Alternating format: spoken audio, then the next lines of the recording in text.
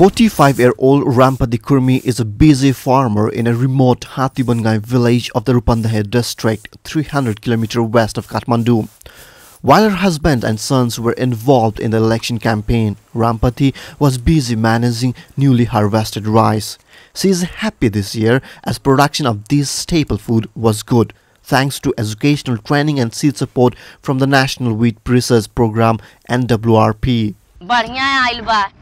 कृषि से आवता ढेरे होत बा धान आ गेहूँ आ वैसे घर के भी बोवा त नहीं माना त शुद्धे नहीं होला आ कृषि से आवता विकास से त मने ढेरे होत बा Rampati is a member of the local group of farmers, a group comprising 60 households from the Hatibangai village which is getting improved seeds and educational training from NWRP on the effects of climate change. One such trainings was on nitrogen management using leaf color chart to mitigate nitrogen loss and reducing environmental and groundwater pollution affecting rice fields.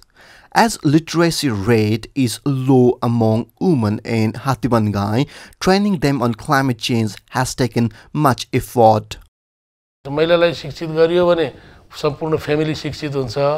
पुरुषलाई गऱ्यो भने पुरुष बाहिर गयो भने फेरि त्यो technology त्यो घरबाटै बाहिर जान्छ जान सक्छ तर महिलालाई सिकायो भने हामीले त्यो टेक्नोलोजी सम्पूर्ण घरको अरू मेम्बरहरूले पनि सिक्छन् त्यो धारणाअनुसार हामी नारकले अथवा राष्ट्रिय गाउँबाल अनुसन्धान कार्यले हामीले त्यही अनुसार कार्यक्रम गरिरहेको छ Hatti Bandgai is one of the rural villages in Rupandehi district The women out here, you can see, are very active in farming. And now, some are using the lethal methods provided by Agricultural Resource Center.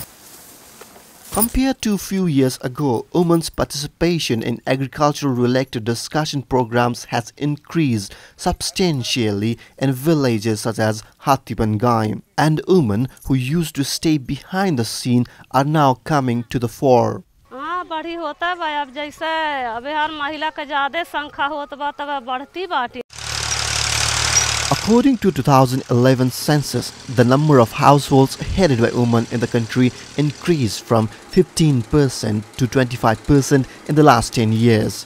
However, it will take them more time to achieve a leading position in this patriarchal society. Environmental experts say women have been contributing more in fighting climate change effects and yet they are one of the groups which will be most severely affected by it. Given this vulnerability, their role from ground to policy level is equally important.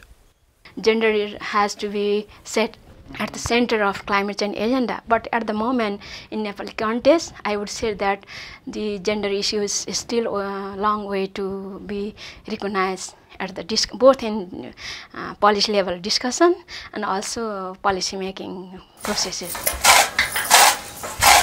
As men leave their home districts and continue to look for jobs elsewhere, more women like Rampati are now doing agricultural work.